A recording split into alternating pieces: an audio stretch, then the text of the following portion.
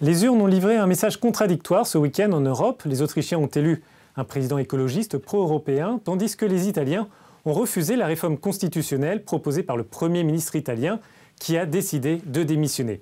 Pour en parler avec nous, André Sapir, chercheur à l'Institut Bruegel. Bonjour. Bonjour. Est-ce que finalement, avec ces deux scrutins, cette victoire du, euh, candidat écologiste en Autriche, on n'a pas évité le scénario du pire euh, à l'issue de, ces deux scrutins? Tout à fait. Euh, certains, dont moi, craignaient effectivement qu'il y ait deux votes qui soient des votes négatifs, le vote en Autriche et le vote en Italie.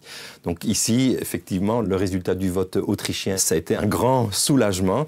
L'Italie, finalement, la situation était plus attendue, même si c'est également un un choc, mais c'est un choc moins grand. Et on voit bien euh, comment se sont comportés les, marchés euh, financiers. Ils n'ont pas beaucoup réagi. Donc ça veut bien dire que là, on avait assez bien anticipé ce, ce résultat-là. Est-ce qu'à l'issue de ces deux scrutins, la zone euro est entrée dans une période d'incertitude?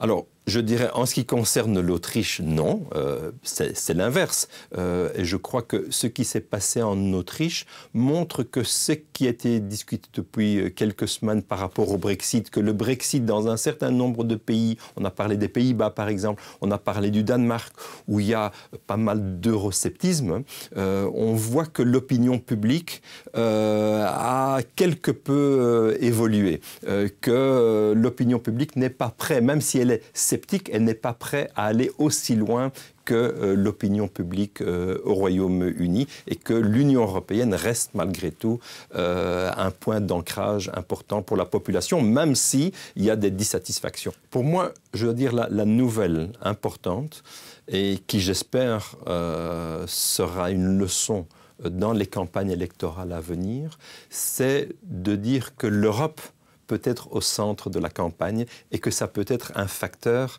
de victoire d'une élection. Le problème italien, lui, euh, bon, il n'est pas lié au Brexit, il n'est pas lié à ce type de, de sentiment, il est lié à un malaise qui existe en Italie maintenant depuis un certain nombre d'années, de cette croissance faible et des problèmes qui, euh, qui, ne sont pas, qui ne sont pas résolus dans cet environnement de croissance très très faible.